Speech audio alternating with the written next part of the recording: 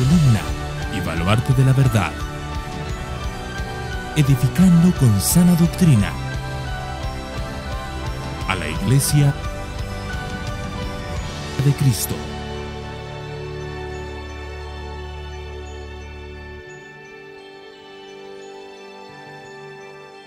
Habacuc capítulo 2, versículos 2 al 5. Y dice así la palabra del Señor. Entonces el Señor me respondió y dijo, escribe la visión y grábala en tablas para que corra el que la lea, porque es aún visión para el tiempo señalado. Se apresura hacia el fin y no defraudará. Aunque tarde, espérala, porque ciertamente vendrá y no tardará. He aquí, el orgulloso, en él su alma no es recta, mas el justo por la fe vivirá. Además, el vino traiciona al hombre arrogante, de modo que no se queda en casa, porque ensancha su garganta como el Seol y es como la muerte, que nunca se sacia, reúne para sí todas las naciones y recoge para sí a todos los pueblos. Padre, queremos presentarnos ante ti con todo temor y reverencia. Queremos, Señor, rendir nuestros corazones ahora ante ti para poder escuchar tu palabra. Queremos, Señor, recordar que el mismo que estaba hablando a Moisés a través de la zarza ardiente y le dijo, quítate el calzado de tus pies porque la tierra que pisas, tierra santa es, es el mismo que está hoy aquí con nosotros. Y yo sé, Padre, que así como hablaste con Moisés, hoy sigues hablando a través de tu palabra. Por eso, Señor, queremos abrir nuestros corazones a tu palabra. Queremos, Señor, poder atesorarla, poder aprender. Te pido que puedas usarme para edificar a tu pueblo. Yo soy torpe, Señor, yo soy limitado. Yo soy todavía, Señor, solamente un aprendiz en esto de predicar. Pero, Señor, por tu gracia tú usas a los torpes. Por tu gracia tú usas a los que están aprendiendo.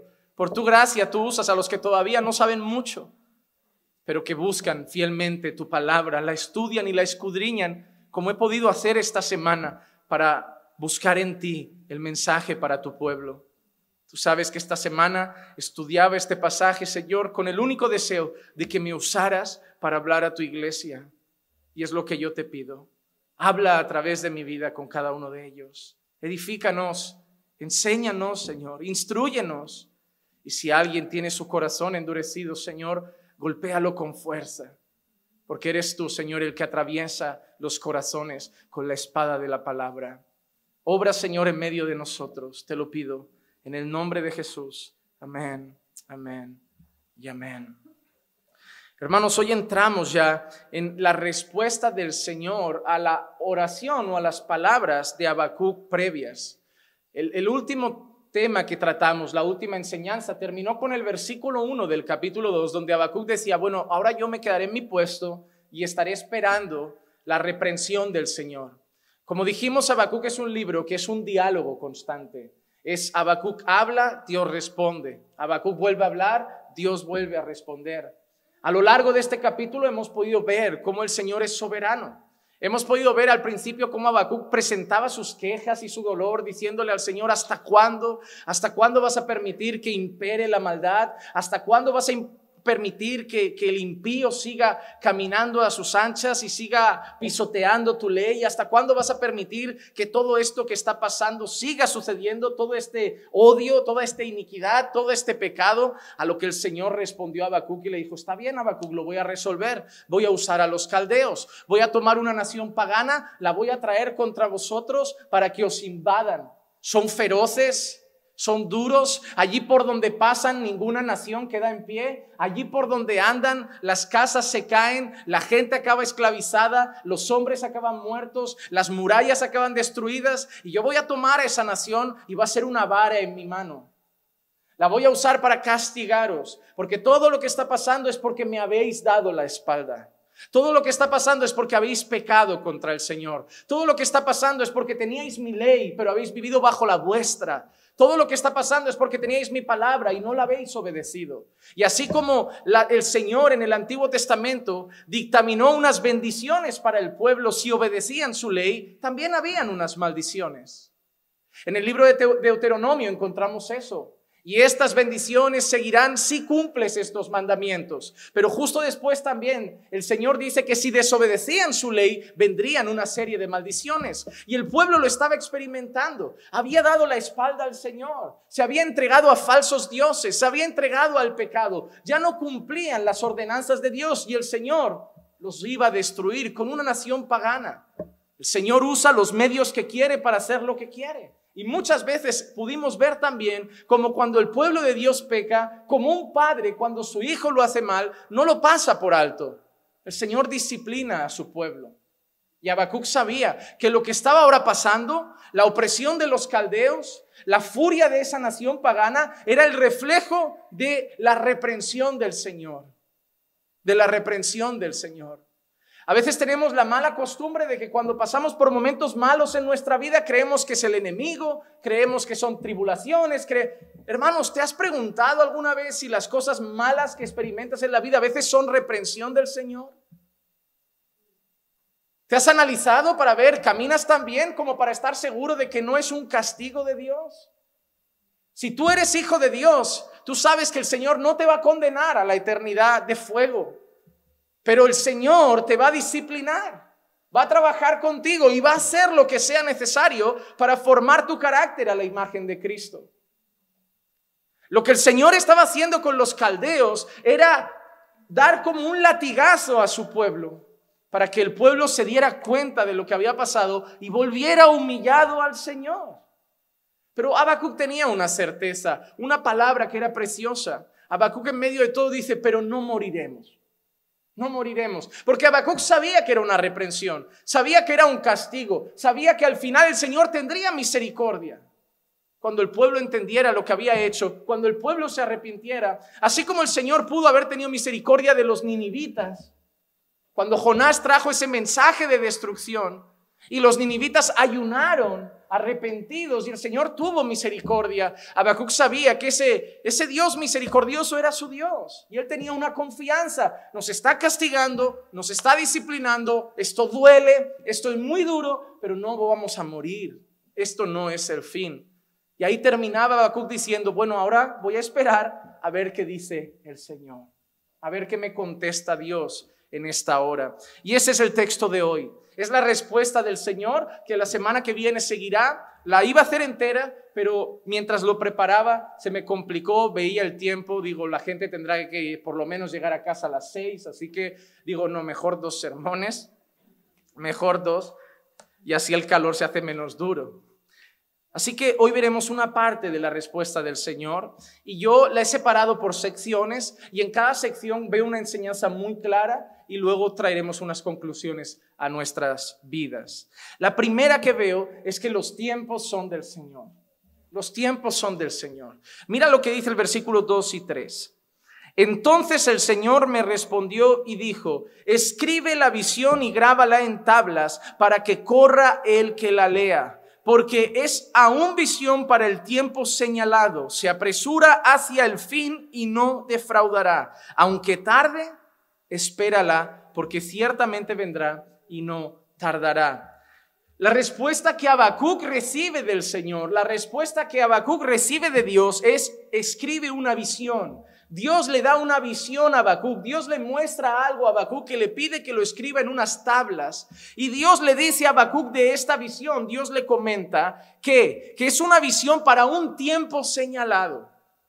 Habacuc, yo te voy a dar una visión de algo que va a suceder, te voy a dar una visión de algo que va a pasar y es para un tiempo señalado. Dice, ya se apresura el fin y no tardará. Y no tardará. Aunque tarde, espéralo porque ciertamente vendrá y no tardará.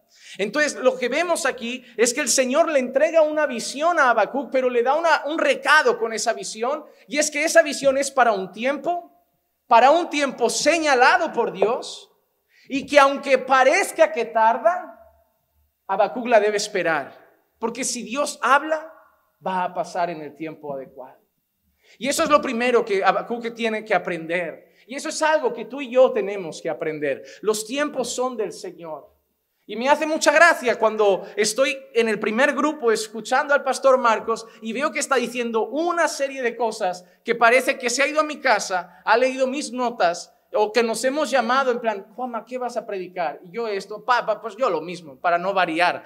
Yo estaba escuchando y diciendo, no, desde otro texto, desde otra parte de las escrituras, pero la base era la misma. Tenemos que aprender a esperar los tiempos del Señor. Tenemos que aprender a esperar los tiempos del Señor. Mira lo que le dice a Habacuc, lo que te doy a Habacuc, esta visión que te estoy mostrando, esto que te estoy enseñando es para un tiempo señalado y aunque parezca que tarde, espérala porque llegará. Oh hermano, el ejemplo creo que más claro de esto, y luego volvemos al texto, es esas personas desesperadas por casarse que tienen la certeza de que el Señor tiene un hombre de Dios para su vida, una mujer de Dios para su vida, pero a veces parece que el desespero es tan grande que cogen un atajo y acaban haciendo algo que es peor, que es casarse con quien a lo mejor no querían, con, porque tenían prisa. Y hay una cosa, el matrimonio es para toda la vida. No basta que después, dos años después, digas, ay, ahora me gusta esa persona, él sí que es de Dios, él sí que es uno. No, el que está en el registro es tu marido para siempre y lo que Dios ha unido no lo separe el hombre. Ah, es que, es que no es bueno. Tú te casaste. Ah, es que parecía creyente. Ah, es que tenías prisa. Y esas son las consecuencias de no esperar el tiempo del Señor. Hacemos viajes cuando no corresponde, iniciamos proyectos empresariales cuando no corresponde, tomamos decisiones personales cuando no corresponde, porque en vez de decir, Señor, haz las cosas tú y yo voy detrás, Hacemos las cosas y le decimos, ahora tú bendice mis cosas. Voy a abrir una empresa y le digo, Señor, bendíceme. yo no quería que abrieras una empresa. Señor, me meto en esta relación, bendice mi relación. Es que yo no quería esa persona para ti. No buscamos ya la dirección, buscamos la aprobación de Dios. A veces viene gente al despacho de la iglesia, pastor, ¿podemos quedar para pedir consejería? Y yo, claro, pase. Me cuenta algo, mire, pastor, es que he conocido a una persona y yo pienso, bueno, me, está, es que es así, es así, digo, es impío. Me preguntará, le diré lo que dice la escritura, no os unáis en yugo desigual y tomará una buena decisión. Y al final me dice, pero voy a orar para que... Digo, no, en serio, ¿cuál es el consejo? No, le estoy informando para que ore por esto. Digo, no, no, no. ¿Has tomado una decisión contraria a la palabra de Dios y quieres que yo vaya contra la palabra de Dios a decir, Señor, yo sé que tu palabra dice que no se unan en yugo desigual, pero la, la niña quiere ser misionera y, y así que ora y bendícelo. No, yo no puedo orar contra la palabra. Lo que puedo orar es que te des cuenta cuanto antes que eso no es de Dios y salgas corriendo de esa relación. Eso sí que voy a orar. Voy a ir de rodillas a decir, Señor, abre los ojos a esa muchacha y hazle ver que está desobedeciendo tu palabra, que está yendo contra tu voluntad y que ahora todo parece un cuento de hadas, pero mañana va a vivir un infierno. Va a levantarse a orar y el de al lado no orará. Va a tener hijos y no va a tener un cabeza del hogar. Va a venir a escuchar la palabra y cuando hablemos de maridos, amad a vuestras mujeres, no lo tendrá. Maridos, orad por ellas, no lo tendrá. Maridos, pastoreadlas, no lo tendrá. Y va a empezar a sufrir y llorar y pensar, ay, es que si me separo, pero ya entró. Y lo que sí dice la escritura en Malaquías es, yo soy Dios y aborrezco el divorcio. No pidas que Dios bendiga tus planes, ora para conocer los planes de Dios. Sométete a su voluntad. No quieras que Dios haga la tuya, no quieras tomar tus decisiones y que luego vaya Dios respaldando todas tus cosas. Sométete a lo que Dios tiene para tu vida. Y el problema es que a veces no tarda, viene en el tiempo de Dios y nosotros lo queremos para allá. Y debemos entender algo, hermanos, que Dios tiene sus tiempos. La voluntad de Dios es perfecta. Y el Señor siempre traerá una voluntad a nuestra vida que sea conforme a lo que ha revelado en su palabra. Y vendrá en el tiempo de Dios. Nuestro deber es hacer dos cosas. Uno, someternos a su voluntad y dos, esperar en el tiempo señalado. Hermano, muchas veces los atajos solo llevan a despeñaderos. Ah, es que la vida pasa rápido. Te digo yo que es mejor casarte cinco años y bien casado que estar 50 años casado sufriendo. ¿Sabes qué es peor que estar soltero? Estar mal casado. Estar mal casado. Y la gente anda con prisas por ennoviarse, parece que no saben vivir solos. ¿Saben qué? El Señor ama a la familia, el Señor bendice la familia, el Señor cuida la familia, pero no deberíamos casarnos porque nos sentimos solos, porque según la Escritura el Señor debería completarnos. Yo no me caso con Clicia porque siento un vacío en el corazón. A mí me tiene que llenar el Señor. Ella viene a mi vida para que juntos sirvamos a ese Dios que a los dos nos completa. Porque ¿qué pasa si mañana enviudo? Me, me tiro de un puente. Porque se me ha ido una parte de mi vida. La extrañaré, sufriré, tendré mi tiempo de luto, pero el Señor me sostendrá. Porque el Señor es mi todo. Yo nunca le diré a Clicia, tú eres mi vida. No, mi vida es Cristo. Tú eres mi esposa, yo te amo y voy a estar toda mi vida a tu lado para intentar ser un buen esposo, pero mi vida es Cristo. Ni mi esposa, ni los hijos, ni los papás, mi vida es Cristo.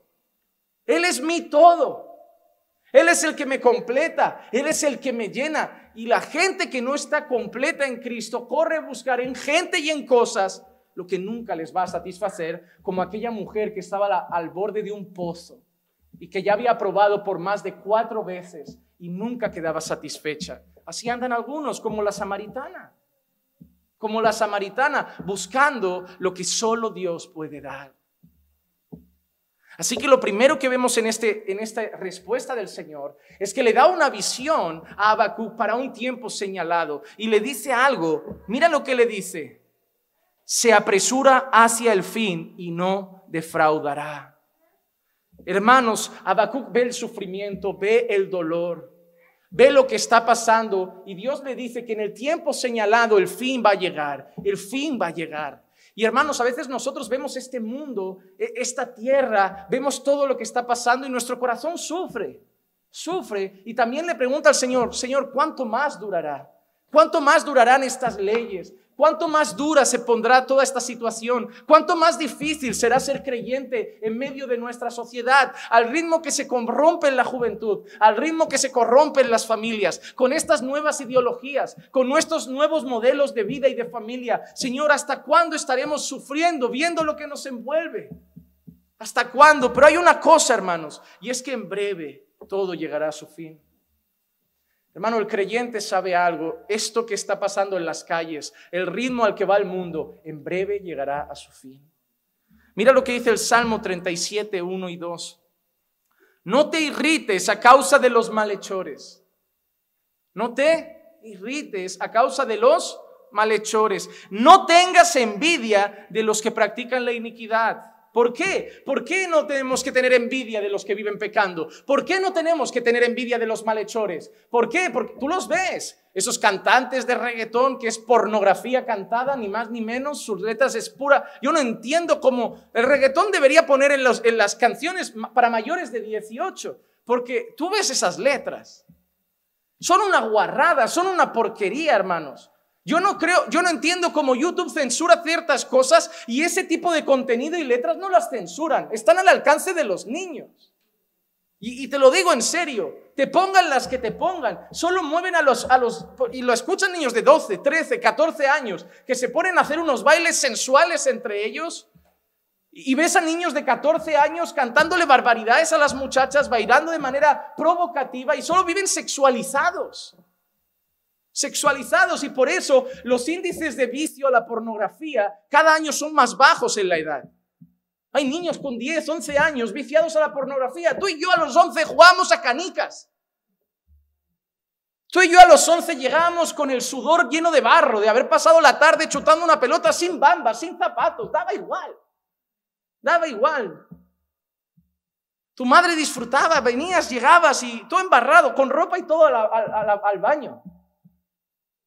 Ahora con 10 años solo están hablando de novias, de novios, de un rollo, de un lío. de me gusta, no me gusta, tocándose, fumando, bebiendo. Y yo digo, ¿qué, pasó? Y, y nuestro corazón piensa, ¿hasta cuándo? Ellos creen que disfrutan, ellos creen que son libres, ellos creen que eso es la vida, ellos creen que eso es disfrutar, eso, ellos creen que es gozar y el mundo está ahí dando a sus placeres y a su iniquidad. Pero el salmista dice, no tengas envidia de ellos. ¿Por qué? Porque el verso 2 dice, porque como la hierba, pronto se secarán y se marchitarán como la hierba verde. El Señor dice, no les envidies, parece que disfrutan, les queda poco, les queda poco. Porque el día que sus ojos se cierren en esta tierra, se acabó la fiesta. Porque por mucho que las películas cuando muestran el infierno parece que es Las Vegas, no es así. Cada vez que hay una película que habla del infierno, parece que, ah, yo prefiero el infierno allí con prostitución. No, en el infierno no va a haber prostitución. En el infierno no va a haber adulterio. En el infierno no va a haber la ruleta, de, Las Vegas, el, póker. En el infierno no va a haber vicio, no va a haber alcohol, no va a haber reggaetón. Bueno, igual reggaetón sí. Eh, eh, porque si, si va a haber lloro y crujir de dientes, tiene que haber algo que lo provoque. Y a mí lo único que me provoca algo parecido a lloro y crujir de dientes es Maluma y esta gente. Eh, es lo único, es lo único. Yo no sé qué como en, algo que se llama música puede estar Mozart y Maluma. Yo no sé cómo es lo mismo. Pueden haber dos personas tan, tan opuestas, tan opuestas, pero bueno. Hay que, tiene que haber una categoría mala para entender la que es la buena. Y para eso existe el reggaetón. Entonces, hermanos, lo que es cierto es que la Biblia cuando describe ese lugar, lo describe como un lago de fuego donde no son consumidos, donde hay lloro, donde hay crujir de dientes y donde va a ser por toda la eternidad. Por eso el Señor dice, no los envidies, no tengas envidia de los que practican la iniquidad, no tengas envidia de los que viven en pecado, no tengas envidia de los que parece que están disfrutando y te miran a ti como si te estuvieras privando de la alegría. Piensa que se van a secar como la hierba y que cuando cierren sus ojos, aunque en el tanatorio toda su familia diga, descansa en paz, no tendrán paz. Porque en el tanatorio todos dirán, no, está en un lugar mejor, no lo están. Si no estaban en Cristo, no descansan en paz. Si no estaban en Cristo, no están en un lugar mejor. Si no estaban en Cristo, están en el mismo infierno. Y por eso el salmista dice, no los envidies. No los envidies. La otra cosa que entendemos es que todo tiene su tiempo. Para ellos el juicio está cerca, pero en la vida todo tiene su tiempo. Eclesiastés 3.1 dice, hay un tiempo señalado para todo y hay un tiempo para cada suceso bajo el sol. Hay un tiempo para cada suceso bajo el sol. hermanos, ese texto de Eclesiastés nos enseña que la vida tiene etapas. La vida tiene etapas. Hermanos, no vamos a estar sonriendo siempre. La idea de ven a Cristo porque todo va a ser alegría, no es así. La vida tiene etapas. Hay momentos donde estamos sanos y nos pasa momentos en la vida en que estamos enfermos. Hay momentos donde está todo bien, económicamente bien, la familia bien, de salud bien. Y hay momentos donde cosas empiezan a torcer, podemos caer en paro. Hay momentos para todo. Hay un tiempo para todo en esta vida. Hay tiempo en que los niños están chiquititos, los estás disfrutando, luego llega la adolescencia, igual no se disfruta tanto. Hay un tiempo para todo y tenemos que pasar por todas las etapas de la vida.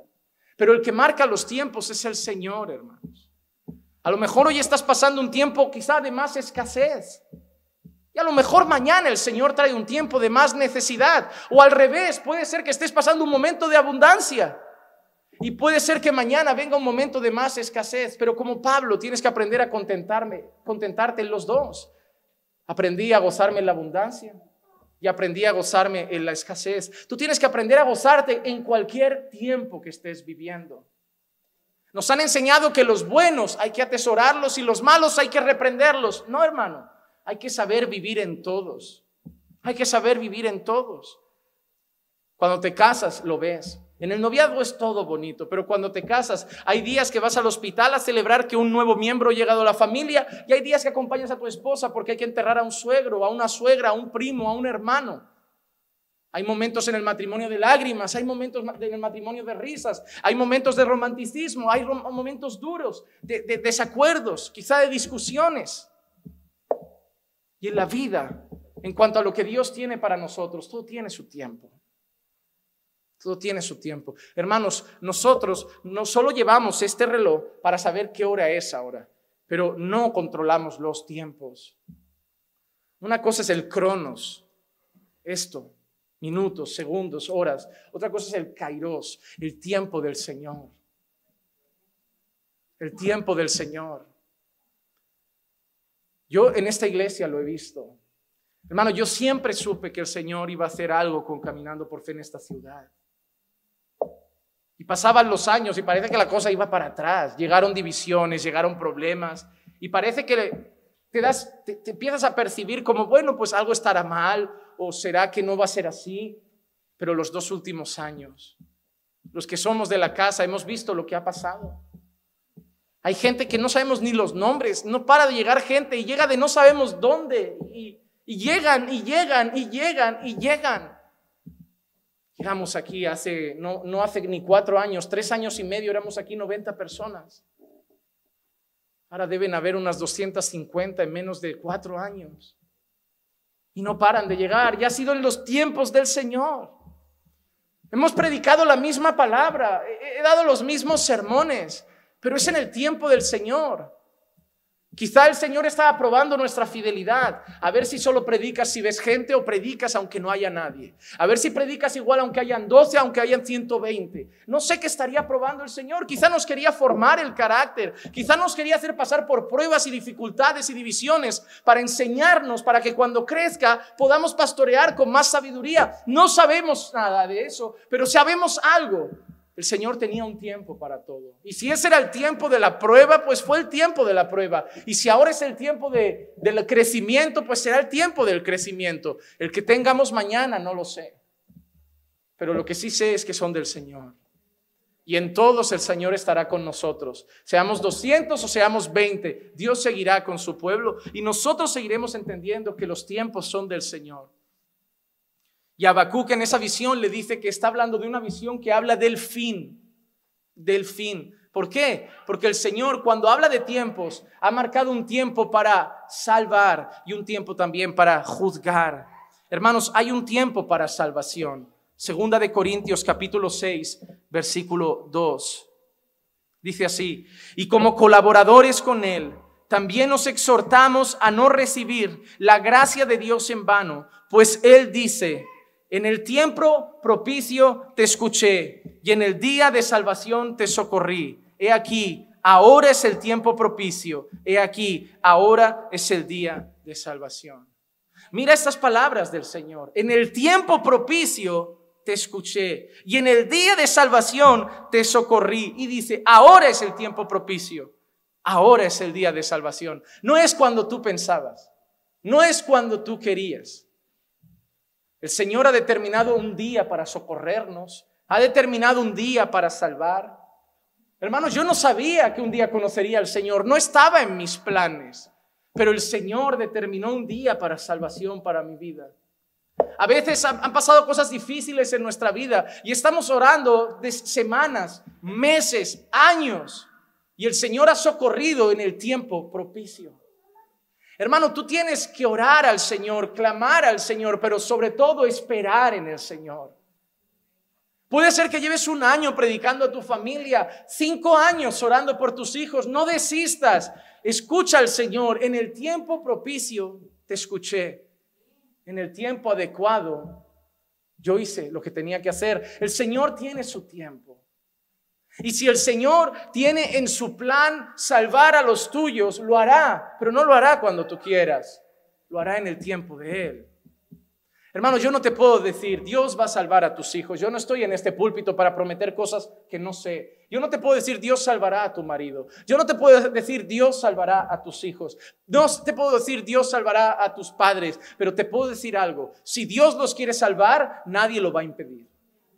Yo solo puedo decir lo que la Biblia dice. Si fuera tan fácil, entonces estaríamos todos tranquilos, sabiendo que todos nuestros padres y hijos un día llegarán al Señor, pero no tenemos esa certeza. Pero sí tenemos una, aunque su corazón esté endurecido, aunque ellos hoy no lo quieran, aunque hoy no quieran saber del Señor, aunque hoy amen el pecado, si Dios los quiere salvar, así como llegó el día de nuestra salvación, llegará el día de ellos. Sigue orando por tu familia, sigue orando por tus seres queridos y confía en los tiempos del Señor. Él lo hace si quiere, cuando quiere y a la manera de Dios. Pero si Él quiere hacerlo, nadie lo puede impedir. Nadie lo puede impedir. Nadie aborrecía más la religión que yo en esta vida. Hermano, yo literalmente sentía asco por la religión, asco, odio, odio. Para mí la religión era lo peor que le había pasado a este mundo. Así me crié, así, así crecí, ese era mi pensamiento. Lo que hacía, lo que promovía las guerras eran las religiones, lo que promovía el odio entre las personas eran las religiones, lo que promovía la desigualdad eran las religiones, los, los, los líderes religiosos eran los que gobernaban, los líderes religiosos eran los que manipulaban. Aquí en nuestro país, por muchos años, la iglesia cogía de los impuestos sin pedir permiso, la iglesia se llevaba su parte sin pedir permiso. Hoy a lo mejor vas a hacer la declaración y te dice, pon la X en la casilla de la iglesia. Antes no se ponía, antes se lo llevaban y punto. Antes ellos eran los reyes y eso fomentaba el odio. Más allá de la historia de España, de la Santa Inquisición y de haber visto tamañas atrocidades, uno crece con un odio. Por eso cuando gente me venía a lo mejor a hablar del Señor por la calle, evangelizar, mi respuesta, como la de muchos españoles, es yo no quiero saber nada de religión. Mi problema no era Dios. Mi problema eran sus representantes. La historia de nuestro país es una historia donde sus representantes, los que decían ser sus representantes, empezaron a salir noticias, Inquisición, monjas que se robaban niños para dárselos a familias ricas, un montón de casos de pedofilia. ¿Qué provoca eso en tu corazón? ¿Eso es el pueblo de Dios? Claro, yo no conocía la iglesia evangélica, era lo único que conocía por religión. ¿Qué, nace en tu corazón? Eso es lo peor de la sociedad. Los violadores de niños, las que hacen eso, roban impuestos, hacen esas cosas. No, yo no quiero saber nada. Yo no quiero saber nada. Pero el Señor tenía otros planes. Y pasé de odiar la religión a ser un precursor de la palabra del Señor. Pero solo le pido una cosa a Dios en mis oraciones, y eso se lo digo a ustedes de forma personal que si lo, mal que hicieron muchos representantes hacía que yo sintiera odio por la religión, le digo que al Señor al menos a mí me ayude a ser un fiel testimonio para que viendo mi vida la gente tenga deseos de conocer la religión. Yo no quiero ser parte de aquellos que la gente dice, la iglesia está llena de hipócritas.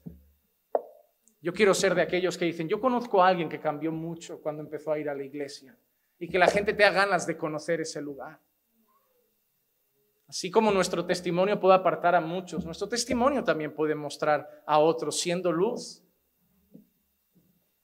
Pero hay una cosa, hermanos, Dios tiene un tiempo para salvar, pero también tiene un tiempo para juicio.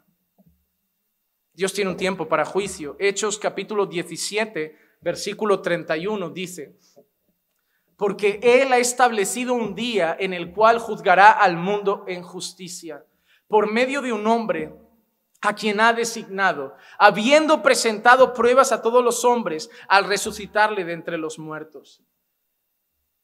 En este discurso vemos que Dios ha determinado un día en el que juzgará al mundo con justicia por medio de un hombre. ¿Qué hombre que ha designado el Señor para juzgar al mundo? Dice que el Señor lo ha testificado resucitando a ese hombre de entre los muertos. Lo que están enseñando en este pasaje es que habrá un día en que Jesús ya no será el que veían en el madero, sino que ahora Jesús vendrá como juez. Y todos los que gritaron crucifícale estarán delante de él otra vez. Y Barrabás estará delante de él. Y Pilato, al lavarse las manos, estará delante de él. Herodes estará delante de él. Caifás estará delante de él. Los que le clavaron la corona de espinas estarán delante de él. Los que le dieron los latigazos estarán delante de él. Aquel que no abrió su boca, aquel que sudó sangre en Getsemaní, aquel que dio su vida por nuestros pecados, volverá, pero esta vez volverá para juzgar a las naciones. Esta vez no será el cordero, esta vez será el león. Esta vez no estará enmudecido, esta vez dictará sentencia. Y eso es lo primero que tenemos que ver hoy. El Señor tiene un tiempo para todo. Y Habacuc le está diciendo, Habacuc, llega el día en que esto tendrá fin. Llega el día en que esto tendrá fin. Y así nosotros en nuestra vida debemos saber, hermanos, tres cosas. Número uno, todo tiene un tiempo. y está en las manos del Señor. Número dos, hay un día para salvación, un día para el socorro. Hermanos, a veces cesamos de orar muy rápido. Porque no sé en qué lugar nos han enseñado que si pedimos a los dos días las cosas pasan, a los dos días la gente cambia. No ora por tu marido. Ya llevo seis meses. ¿Seis meses? Hay hombres en el Antiguo Testamento que esperaron 25 años para ver la, la promesa de Dios cumplida.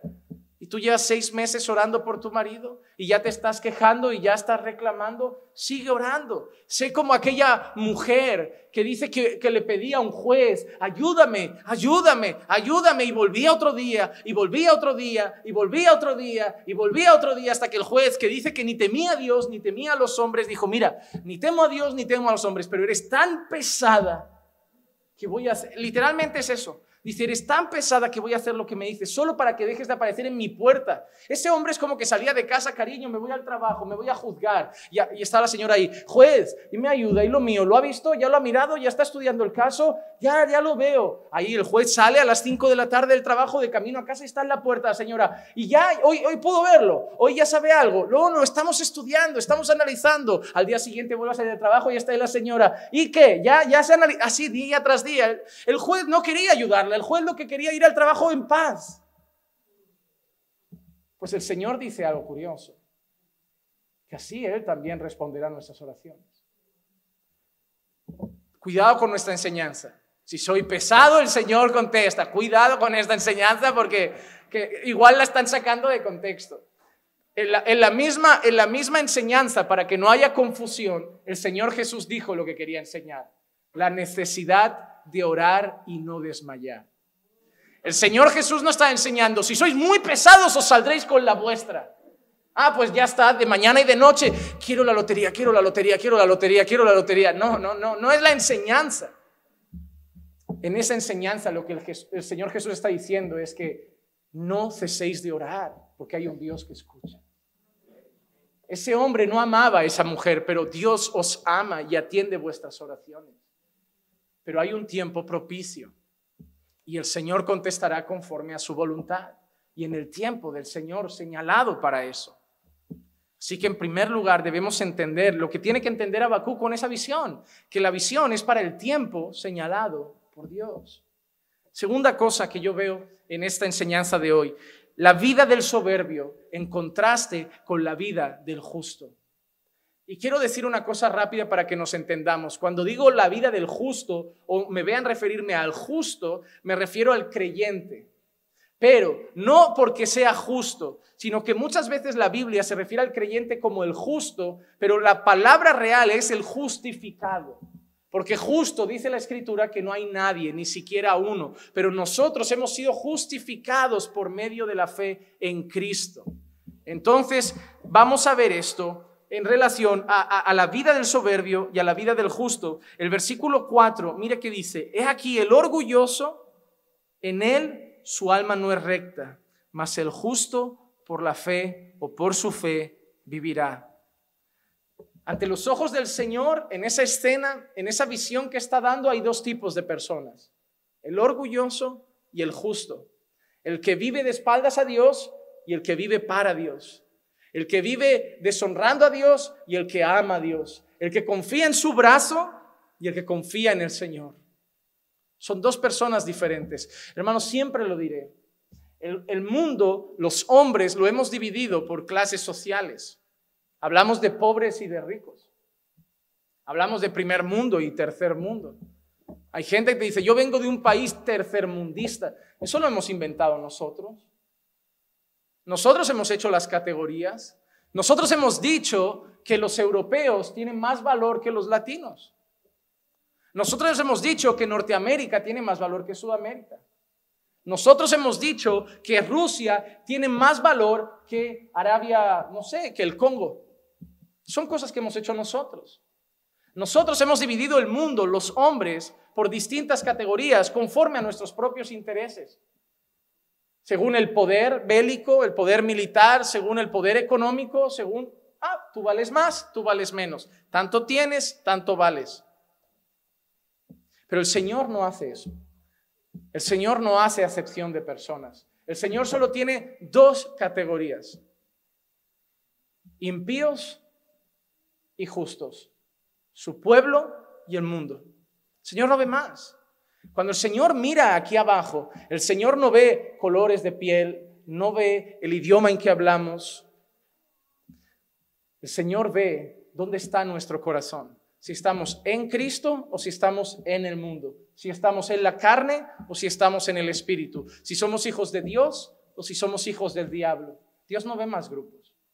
Por eso, en este versículo Habacuc solo ve dos grupos. El orgulloso, que representa al mundo, que su alma ante Dios no es recta, y el justo que vive por la fe, por la fe. Vamos a ver algunas cosas de estas. La primera, debemos tener una cosa clara. Dios aborrece y castiga al soberbio. Se habla mucho en los púlpitos de homosexualidad. Se habla mucho en los púlpitos de adulterio.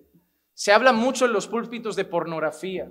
Se habla mucho en los púlpitos de esas cosas, pero si hay un, pecado que el Señor menciona constantemente como algo que aborrece severamente, es el orgullo y la soberbia. Y es triste, porque yo escucho gente decir, todos somos orgullosos y nos quedamos tan panchos. ¿Tú sabes lo que la Biblia dice de los orgullosos? ¿Tú sabes lo que la Biblia dice de aquellos que son soberbios? Hermano, yo no podría quedarme en paz y tranquilo diciendo, ah, todos somos orgullosos. No, no debería estar tranquilo. ¿Por qué? Proverbios 8:13 dice, el temor del Señor es aborrecer el mal, el orgullo, la arrogancia, el mal camino y la boca perversa, yo aborrezco. Yo no podría estar en paz si yo me siento una persona orgullosa y el Señor dice en su palabra que los aborrece. Yo no me podría sentir en paz si me siento una persona soberbia y la palabra dice que el Señor los aborrece. Yo no me podría sentir en paz si fuera una persona arrogante, de mal camino, o mi boca fuera perversa y el Señor dice que lo aborrece. Yo estaría temblando, hermanos. Yo estaría temblando. Porque cuando nosotros venimos a Cristo, eso no puede ser parte de nuestra vida. No puede ser que luchemos para quitarnos vicios como el alcohol, como la inmoralidad sexual, como la mentira, como tantos otros y decir, no, pero el orgullo ahí se quede. No, hermano, hay que orar contra el orgullo, hay que ayunar contra el orgullo. El Señor Jesús quiere que seamos mansos y humildes como Él. Hermano, hay que romper el orgullo de los corazones. Y el orgullo tiene una cosa que normalmente o, te ciega y no lo reconoces o se muestra muy sutil. Cuando tu esposa te corrige, ¿cómo reaccionas? ¿Orgullo? Cuando te corrigen en la iglesia, ¿cómo reaccionas? ¿Orgullo? Cuando el hermano te dice algo y tú le dices, eh, tú no eres para corregirme. Yo como mucho hablo con el pastor. ¿Orgullo? ¿Nadie te puede corregir? ¿Nadie te puede decir nada? Tu mujer no te puede mostrar tus defectos, tu esposo no te puede mostrar tus defectos, tus hijos no te pueden mostrar tus defectos, nadie se puede meter en tu vida. Eres de los que siempre contesta, el que estoy libre de pecado que tire la primera piedra porque te molestó la pedrada. Eres el que contesta, no juzgues para no ser juzgado porque te mostró que te corrigieran. Orgullo. Porque si realmente fueras humilde y dijeras, ¿de qué me voy a quejar? Si es que soy así. Porque el humilde acepta la corrección, acepta la reprensión, agacha la cabeza y te digo la verdad. El humilde al final va a reconocer que me corrijan de lo que me corrijan, seguro que soy peor de lo que ven. Porque solo ven lo que puedo hacer, no saben ni siquiera lo que pienso. Imagínate que supieran todo lo que se me ha pasado por la cabeza a lo largo de mi vida, todo lo que he sentido en mi corazón. Sería mucho más terrible si pasaran por este proyector todos tus pensamientos de los últimos cinco años. Te daría esta vergüenza, no querrías estar en esta sala. Así que acepta la corrección, porque probablemente seas mucho peor de lo que te estén diciendo. Pero los orgullosos no aceptan la corrección, no aceptan la reprensión, no se someten nunca a una autoridad. La gente orgullosa es impastoreable. En la iglesia hay personas que no se relacionan con los pastores, con sus esposas. ¿Sabes por qué? Porque no aceptan ninguna posición de autoridad. No se sujetan a sus esposos, no se sujetan a sus padres, no se sujetan a los pastores, no se sujetan a nadie porque son los dueños de su propia vida y siempre pondrán pretextos y excusas, pero el problema es su orgullo. Nadie se mete en mi vida, es la frase y el título de su película. Hoy hemos presentado tres miembros de la iglesia. Ellos no tienen que ir a ustedes a decir, hermanos, ahora que soy miembro de la iglesia, tienen permiso para meterse en su vida. No tienen permiso, tienen deber. Si hacen algo, son sus hermanos, van a ir y van a decir, hermano, no está bien, esto no agrada al Señor, somos el cuerpo de Cristo, debemos vivir en santidad, hermano, no haga eso. Ha venido aquí, hermano, si entras en una iglesia, si eres parte del cuerpo de Cristo, parte del pueblo de Dios, bienvenido a un sitio donde todos se van a meter en tu vida. Porque tienen la obligación de cuidarte para que andes bien con el Señor. Los que no se meten en tu vida son los que drogate. Mañana pareces muerto, no pasa nada. Qué penita nos dio, parecía buen chico. Los que sí nos metemos en tu vida son los que te vamos a decir, va a destruir tu vida, va a destruir tu matrimonio. No estás bien con el Señor, no te engañes más. Los que te molestan son los que te aman son los que te aman. Por eso los jóvenes a quien más odian es a los padres que los corrigen y no a los colegas que les encienden el porro.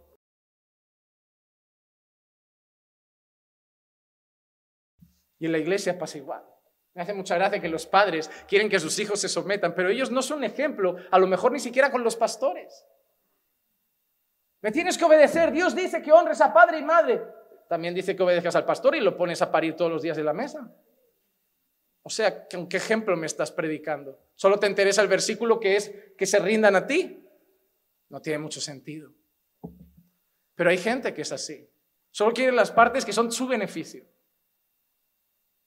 Hermano, tenemos un serio problema con el orgullo y tenemos que romperlo de una vez por todas.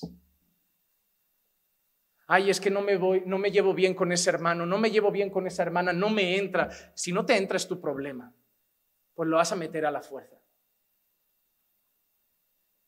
Porque nuestro deber es amarnos todos, cuidarnos todos, saludarnos todos. Te digo una cosa, si vas a entrar por esa puerta y solo vas a saludar a algunas hermanas, no saludes a ninguna. Si vas a entrar por esa puerta y solo vas a saludar a algunos hermanos, no saludes a ninguno. Si te levantas para saludar a una hermana, te levantas a saludar todas. Porque acepción de personas solo muestra orgullo, favoritismo y que tienes un serio problema en el corazón. Y aquel que no ama a su hermano sigue en tinieblas. Se habla mucho de pornografía, pero no se habla mucho de estas cosas, porque como son comunes tenemos que aceptarlas, no las tenemos que aceptar. El Señor Jesús era manso y humilde. Y ese es nuestro ejemplo. Isaías 2:12, mira qué dice, porque el día del Señor de los ejércitos vendrá contra todo el que es soberbio y altivo, contra todo el que se ha ensalzado y será abatido. Hermano, el día del Señor vendrá contra los soberbios, contra los orgullosos, contra los altivos, porque no hay nada que refleje menos a Cristo que el orgullo.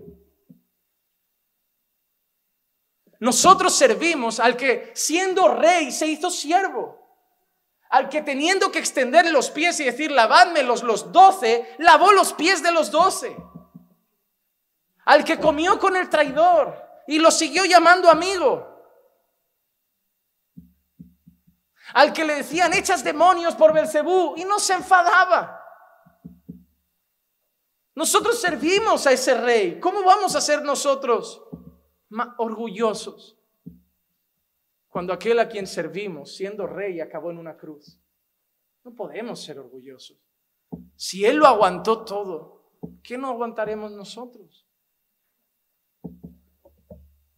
Cuando el Señor habla a Habacuc, habla del orgulloso, del soberbio, en quien no está bien su alma, y por otro lado habla del justo que vive por la fe.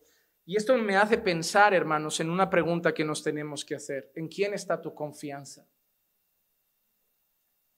¿De quién depende tu vida? No, no la teoría, la teoría es fácil, son dos medidas, del Señor, digo la práctica. Porque a veces los creyentes respondemos las preguntas bien, pero a la práctica no se ve nuestra respuesta. Decimos, yo confío en el Señor, pero vives angustiado, no duermes por las noches, estás afanado. No confías en el Señor, lo dices porque sabes que debe ser así, pero no se ve en tu vida. Porque si realmente confiaras en el Señor, dirías, en paz me acostaré y así mismo dormiré, porque yo puedo vivir confiado. La teoría es muy fácil, hermanos. Es la práctica lo que demuestra. Miren, el problema de las verdades bíblicas que a veces solo se quedan aquí, pero tienen que llegar aquí.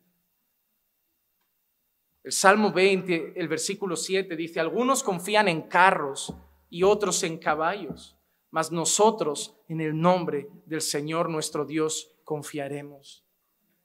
Habían dos personas para Dios en esta visión que le daba a los soberbios, los arrogantes y el justo que vivía por fe. Unos confiaban en su propio brazo, otros confiaban en el Señor. Cuando Dios habla de los caldeos, dice, su fuerza es su propio Dios. Los caldeos confiaban en su ejército, como los egipcios. ¿Tú te crees que cuando los egipcios ven a salir al pueblo hebreo por allí y saben que hay un mar delante y salen con toda su caballería, no piensan, no tienen nada que hacer? Mira nuestro ejército, mira nuestra potencia militar. A mí me gusta estudiar sobre guerras, no por la sangre, pero por la historia. Y muchas veces una de las cosas más interesantes es que grandes ejércitos han perdido en batallas que pensaban que era una minoría el ejército rival solo porque el ejército rival tuvo una mejor estrategia. Se sabe de emboscadas y de cosas similares que acabaron con grandes ejércitos. Porque el mayor problema de un ejército es la confianza, la autoconfianza, el creer. Somos grandes, poderosos, no tienen nada que hacer, estemos tranquilos.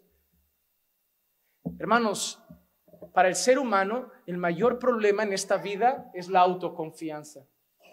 Es la autoconfianza.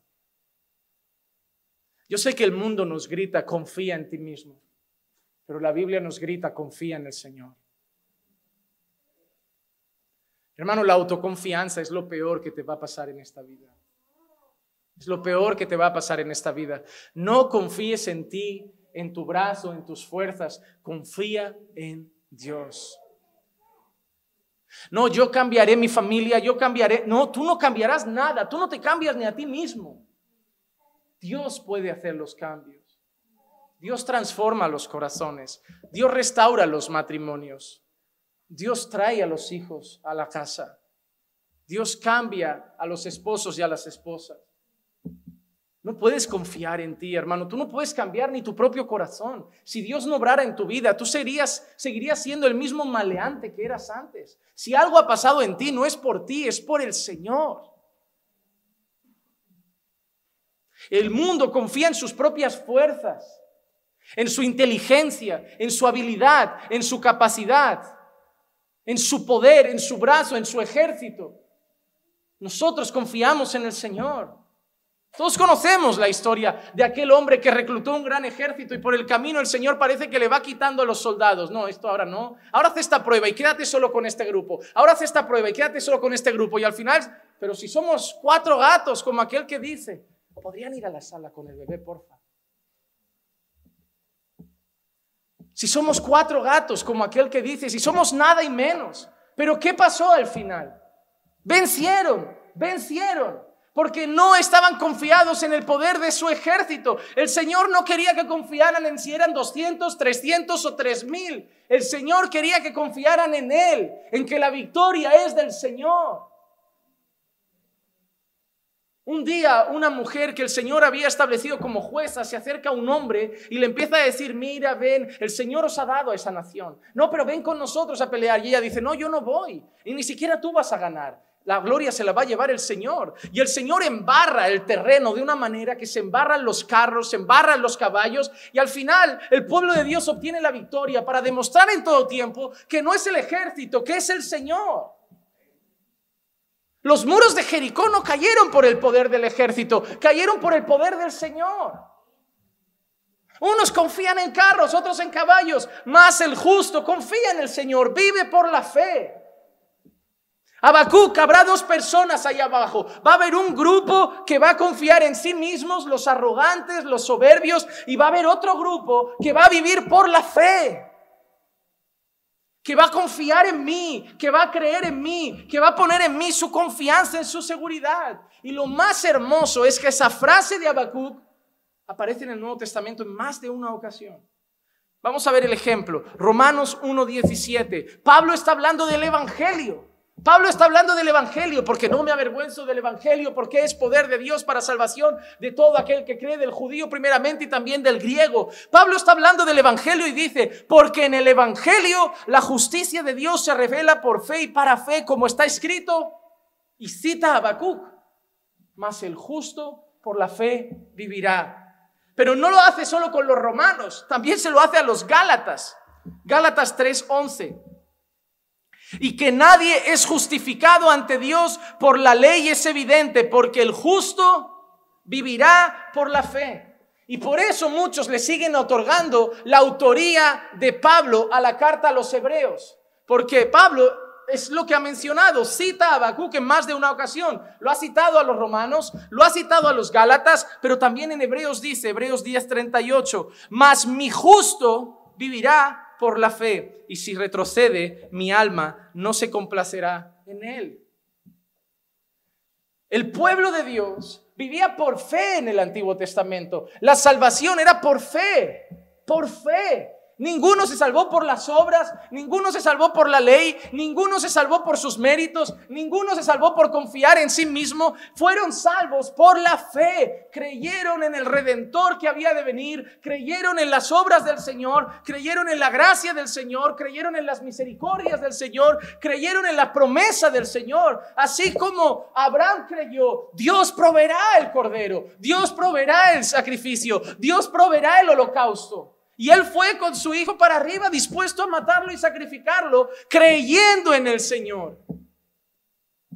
No fue lo que Abraham hizo. Lo que Abraham hizo demostró que Abraham creyó al Señor, como veremos este jueves en la carta de Santiago, donde Santiago da el ejemplo de Abraham y de Raab. Entonces Pablo sigue diciendo constantemente, el justo vive por la fe. El justo no confía en su obediencia. El justo no confía en su buen comportamiento. El justo no confía, yo vivo de tal manera, seré salvo. No, yo vivo por la fe. Yo sé que soy débil, yo sé que fallo, yo sé que me equivoco, pero y mi garantía de salvación no es mi mérito, es la fe que tengo en Cristo, en que Él murió y pagó por mis pecados. Porque por las obras de la ley nadie puede ser justificado. Pero Pablo dice, pero tenemos paz para con Dios al haber sido justificados por la fe en Cristo. Y Habacuc es esa palabra la que dice. Dios le dice a Habacuc, Habacuc, allá abajo hay gente que confía en ellos, pero hay gente que se va a salvar, hay gente que va a terminar bien porque ellos viven por la Hermanos, el pueblo de Dios ha vivido por la fe desde Génesis. Porque pondré enemistad entre tu simiente y la simiente de la mujer. Él le dirá en el calcañar, pero él le pisará la cabeza. Ahí tienes ya algo para creer. Todos creyeron, llegará esa simiente, Cristo, y pisará en la cabeza de la serpiente, pisará en la cabeza de Satanás. Y lo hizo en aquella cruz. Resucitó al tercer día, demostrando que venció las tinieblas, el infierno y la muerte. Y ahora nosotros creemos en Él. Y vivo por lo que Cristo ha hecho, no por lo que yo puedo hacer. Yo no creo en mi poder, creo en el poder de Dios. Cuando yo vengo a predicar y digo, Señor, yo no sé hablar muy bien, yo no soy muy elocuente, yo no soy el más académico, yo no soy el más intelectual, soy hasta medio bruto por lo que dice la gente y parece que siempre estoy enfadado. Pero tú puedes hacer algo. Yo digo, pues si la gente me ve siempre enfadado, serán algo más socas porque vienen constantemente. Hay gente que le gusta, porque hay gente que al final me dice, me gusta porque me da duro. Le digo, tú eres muy raro, chico. Digo, hazte mirar eso. Esas prácticas son extrañas.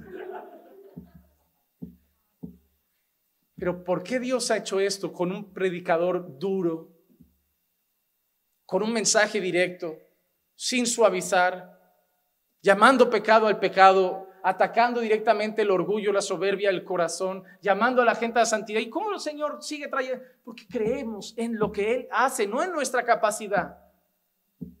Porque si no, yo iría el sábado y diría, ¿sabes qué, Señor? Me voy a sentar los mejores versículos, los más suaves, los que animen más a la gente, porque así vendrán y haré esto y preparo esto y lo digo de esta manera. No, hermanos, yo preparo mi bosquejo, yo estudio el texto, yo intento buscar entender lo que el Señor quiere decir y lo único que hago es doblar mis rodillas y decir, Señor, ahora úsalo.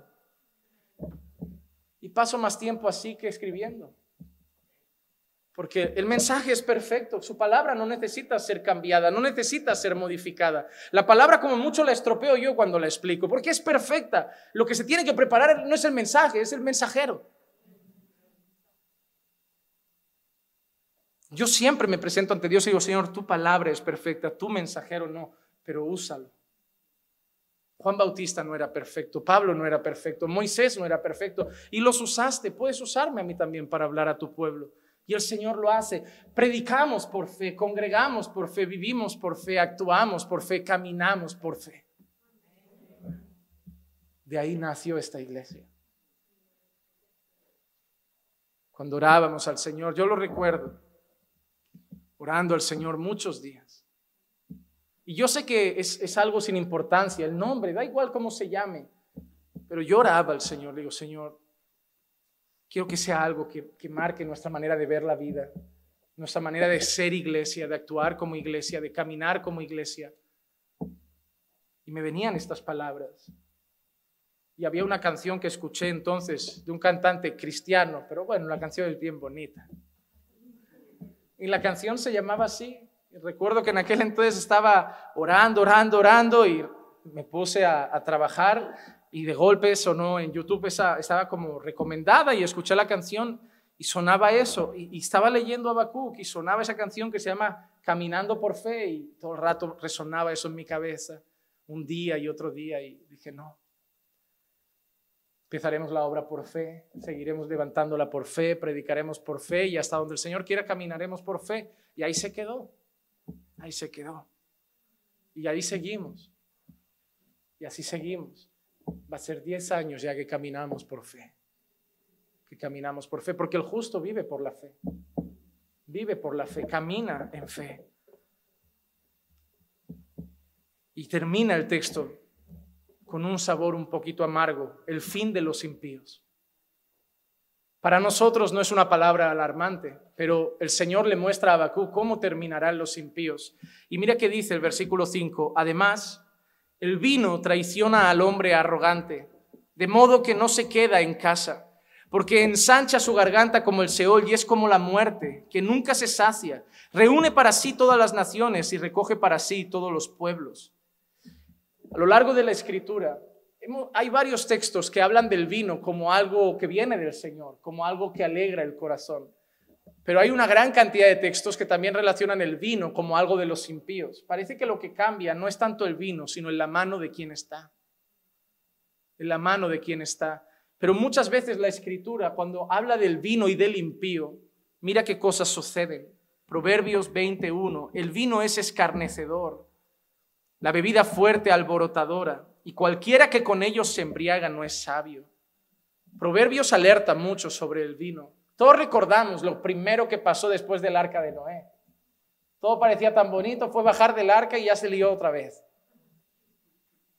Yo de verdad, yo siempre digo esto y, no me lo tomen a mal, pero si yo hubiera sido Dios, yo llamando agua directamente, yo ya no dejo ni que sigan otro día. A la que pasa, pero eso prueba la paciencia de Dios para con nosotros.